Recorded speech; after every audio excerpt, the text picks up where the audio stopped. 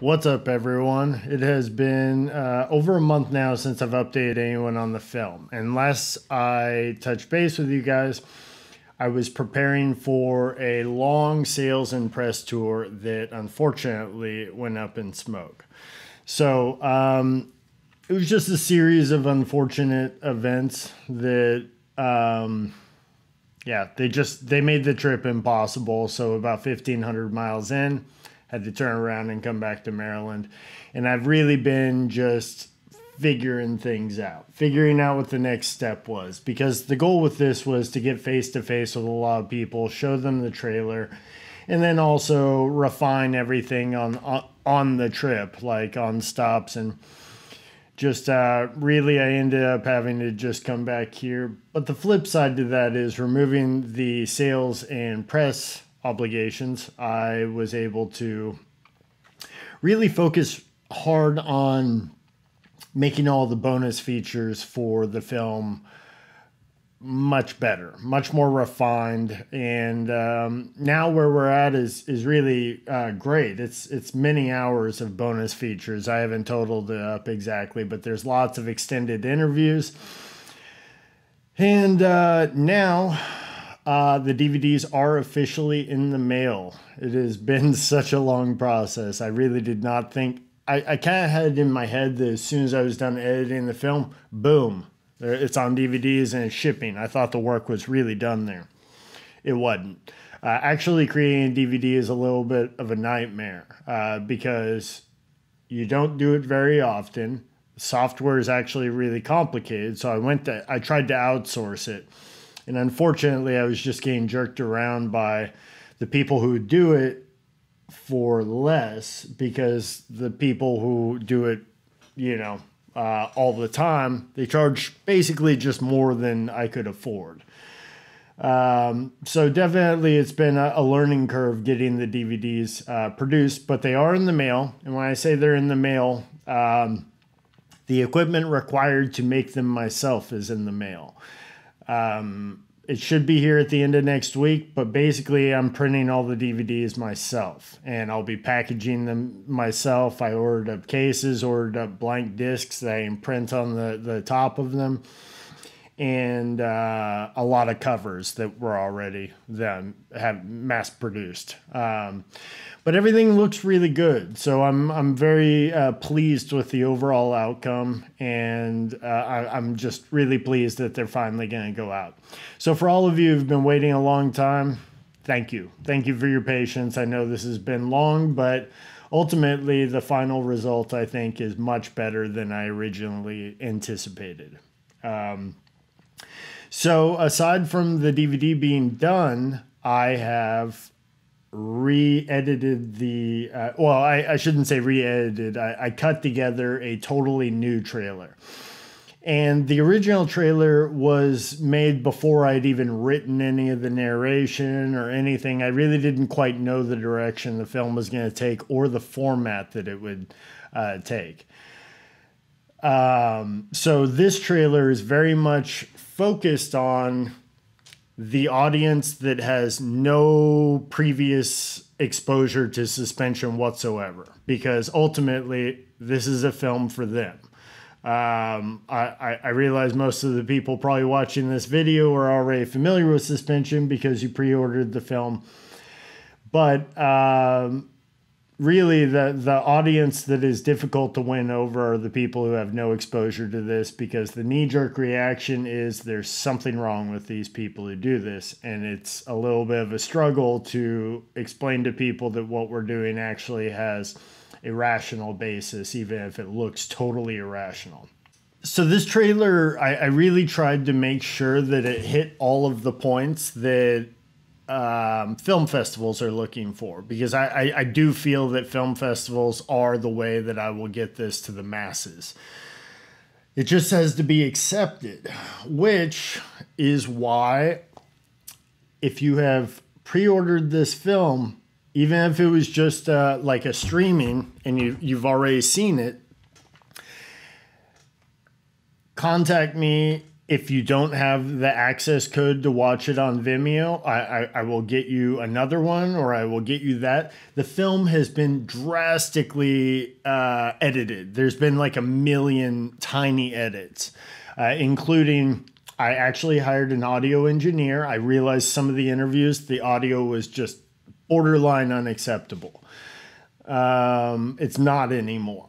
There were parts to the tr- uh, to the film that the audio was so bad I had to consider removing it from the film, and now that same audio clip that I considered removing from the film is now played in the trailer. So that's how much work I had done by a PhD audio engineer.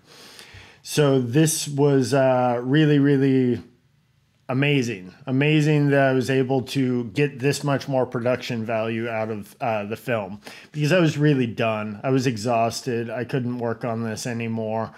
But honestly, the response whenever I uh, launched the did the, the the soft release for the backers and, and pre-orders, the re- reaction was so amazingly positive that I couldn't stop there. Like I, I, knew at that point I had something special and I needed to make it as clean and refined as possible so that it doesn't get ignored.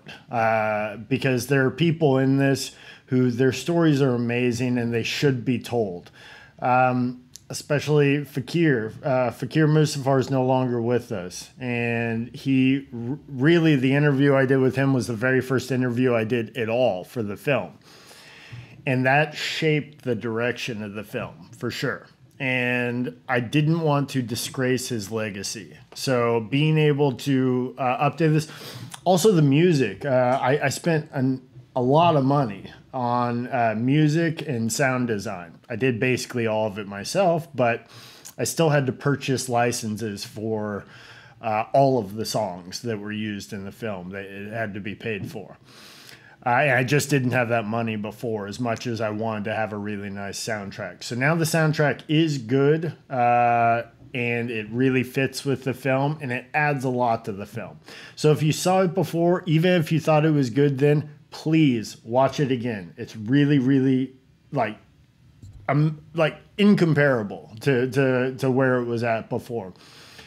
The other thing that I'm asking is um, please leave a review. If you want to support this film, leave a review on the Vimeo page after you watch the film. Watch it again, leave a review, share it on Facebook, everything you can it is huge for me. And if you do leave a review on on the film and uh, message me afterward, and I will give you another access code for the film, and you can send it to whoever you think might enjoy it, and they can see it for free. And then if they leave a review, same thing goes. I will give another copy. I'm much much more concerned with this film getting out there than I am, you know, making money off of another view whenever film festivals look over my application, they look at Vimeo because Vimeo is where they want the film uploaded to so that they can get it from there to actually screen it.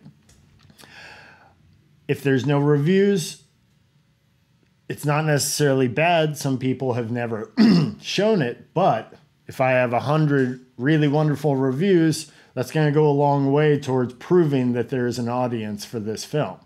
So if you would like these words to get out there to everyone, please, please, you, you would be helping me so much and uh, I would be very grateful. And I, I promise you're not wasting your time watching it again. It is much, much, much better.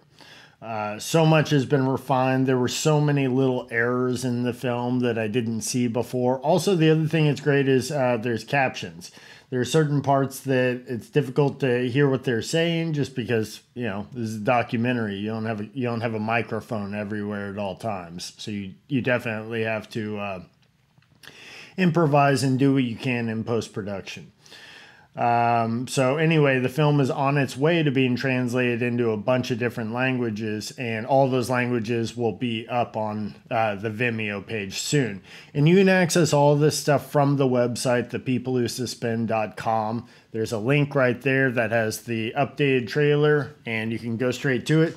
Email me, uh, thepeoplewhosuspend at gmail.com and I will get you your access code. If if if you've lost it, even if you just did a rental and and that rental is expired, no problem. Send me a message. I'll give you another uh, uh, code so that you can view it again. And then um, please, that review is unbelievably uh, important toward for for getting this out to the world. So thank you all so much for your patience. If you did buy the film, please make sure that you replied to the email that uh, confirms your shipping address. I have to have confirmation before I ship it. Some of you paid for the film like five years ago. I can't. Some people have changed their names since then. People have gotten married. Uh, I know it's been a while, and I don't want these uh, DVDs to just end up in, in you know getting returned or something like that. I definitely want everyone to uh, you know be able to hear all the extra stuff, and I'm uploading these bonus features uh, to the uh, Vimeo page as well. So you can actually see all those bonus features there as well. Um, so uh, if, if you want access to the film immediately, like online, you don't have to purchase it on Vimeo. If you want a DVD, get the DVD and then I will uh, personally send you an access code so you have access to it online immediately. You won't have to wait for the DVD to come in the mail. And that way you can uh, leave that review that I keep bringing up. Very, very helpful. Please, your help is very much appreciated. Anyway, the uh, the trailer uh, is going live. Please share it as much as you can. Let everyone know. The People Who Suspend is going to a film festival near you with your help thank you guys for believing me through all this time. I know uh, some of you may have lost faith. I can't blame you for that. But for those of you who stuck with me through all of it, thank you. You're the reason why this was possible. Thank you.